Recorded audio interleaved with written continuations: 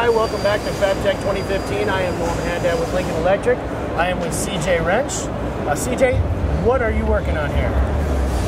We're working on a sculpture that's called, um, it's, it's basically the, the history of Lincoln. So we've got the history of Lincoln uh, as you grew as a company, all the companies you acquired along the way.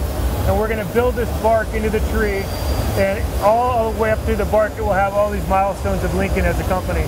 And then on top we have three levels of leaves, 400 and I think 15 red leaves of Lincoln, and uh, and it's a kinetic element that will actually then try and take it all apart at the end of the show and put it in the crate and ship it back to Lincoln. What was the inspiration for it? Uh, the inspiration is just the roots of excellence of Lincoln the company, and so reading the roots of excellence, I just thought tree. We got to do a tree where we start from the beginning and we just build up to where we are today.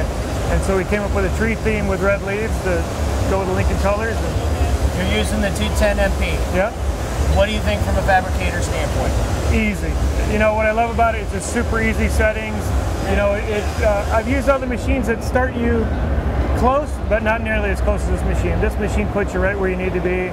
TIG, MIG, you know, we do everything with it. So that user interface is it's a cut above anything we've oh, ever seen before from yeah. anybody. Yeah. Okay.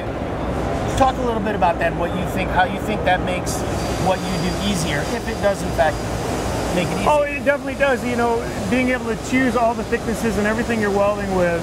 I think for the hobby welder that doesn't weld much, it's, it's such a beautiful machine because it's set for you. And if you go off just what it gives you, it, it welds perfectly.